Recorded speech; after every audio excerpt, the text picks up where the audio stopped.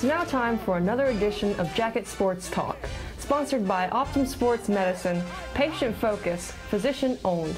Here is your host, Optim Sports Medicine athletic trainer, Mr. Jeff Weems.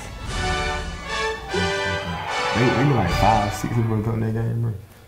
Hey, Jackets fans, uh, welcome to JD Sports Talk, brought to you by Optim uh, Sports Medicine, Optim Orthopedics. Uh, so today we have with us two of our senior basketball players, Mr. Ti King and Willie Skipper. Um, so Willie, we'll kind of start with you.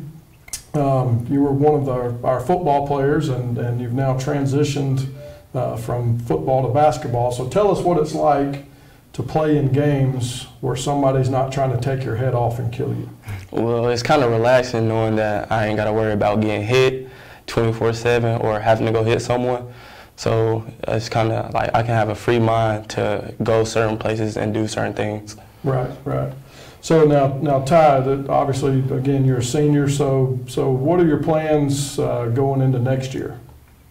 Um, I plan on going to North Carolina A&T Mhm. in North Carolina, and my major is business management. So I plan on I plan on moving up there with my mother and I'll just start a new life with them. Okay, very good.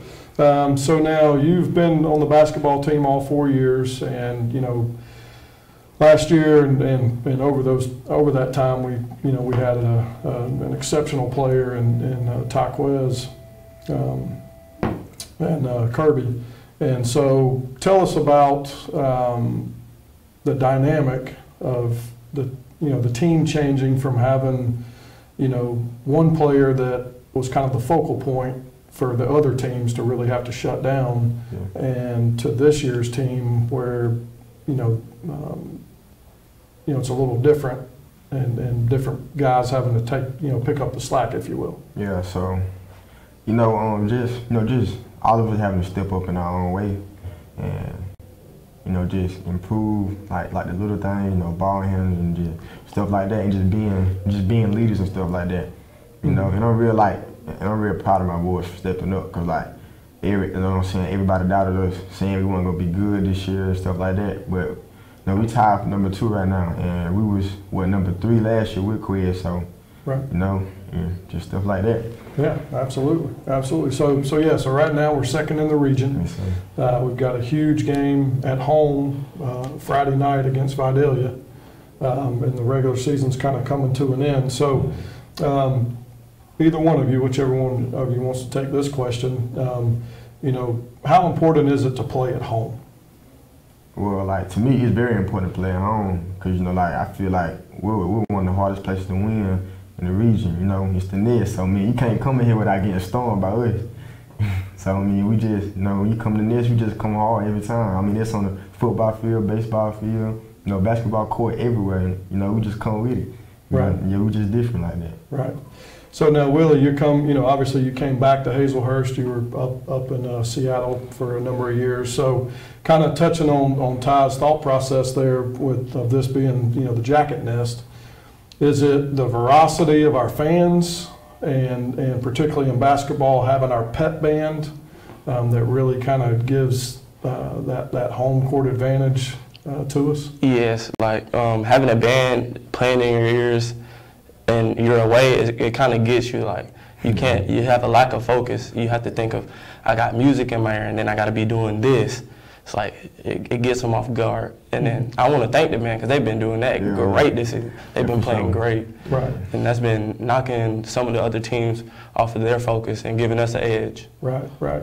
So now as players, I mean, obviously you're saying that, that having our pep band and they do, they do a phenomenal job. Um, and, and, you know, it feels like we're at a college. You know, when that, when that pep band's going and, and, and they're rocking the house. Um, and you're saying it knocks the other team off their, off their edge a little bit, but does it help you guys? It helps me. It gets me in rhythm. It Like it, it makes me want to bounce around. And it Yeah. gives me energy. Yeah. Well, Mhm. good, yeah. I get real pumped up. Uh-huh. Okay, awesome. Yeah, like I said, that, you know, that, that's something that, that's been brought on the last couple of years and, and, and I, I think plays a big role too. So, you know, we're still in this area of COVID, um, and, and we've had some kind of hiccups. So talk about the difficulties the season has been presented with having to, you know, get going, be playing, and then have to shut down for a little bit. How have you guys handled that and, and, and made it through the process? It's been real challenging, Mm-hmm. uh, real hard, you know. Cause like, you know, at one point in time we was going, you know, we was on a good road, and boom, COVID hit, we out, and we lose, you know, we lose a bunch of games and stuff like that. We can't play, 'em, we can't, make them up. Then we come back, then we have to play like a day or two right after we come back. You know, it was just hard, but you know, we just pushed through and just, you know, came in, practiced hard, and just, you know, and just put ourselves in a great position to win. Right, absolutely. So, uh, now Willie, kind of going back to the football, basketball dynamic. So, you know, from a sport standpoint, you know, kind of walk us through, you know, the difference or, you know, mindset or, or the physicality of going from football into basketball. Well, in football, you have to have the mindset is, is either get eight, like you, you do not want to get hit, and some people hate hitting people, so you have to be ready to go do yours. And in basketball, you have people like you can lean on. You don't have to worry about, oh, I have to do this perfectly to get this right. Mhm. Like you can lean on your teammates to have your back. Like um, with defense, if if I get beat or something, I know I have somebody that's gonna be there to help me Yeah. like watching football. If I was to get beat deep, I was the last person there, Yeah, so I would be on my own. right, right. Okay. Very good. So, um, you know, so the regular season's wrapping up, um, and, and we're poised to be the number two, but what do we got to do to finish that out? We just gotta win. We just, you know, we just gotta Gotta beat play Valley through it. Friday. Mhm. Gotta come in here and just wipe the floor with them and just, you know, win. You know, we win that. We in a great position to hold the number two spot going to the region tournament. Get And swing by then, after the yeah, win. then leading to the state playoffs, Okay, which we really hope to be hosting games here. Right. Yes.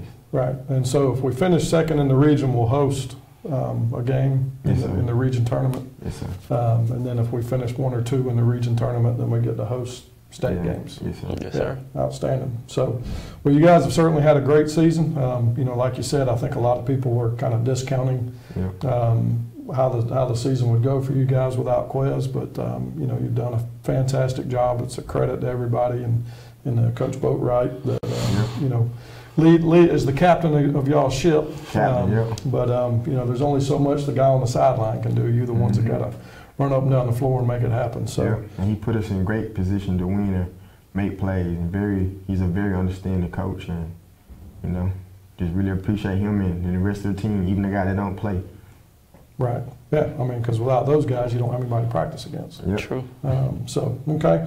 Well, very good. Well, Jacket fans, um, you know, our, our, our final home game of the season um, in the regular season is this Friday night against Vidalia. So we hope you'll uh, you'll come out and pack the stands and uh, give these guys the lift that they need during the game.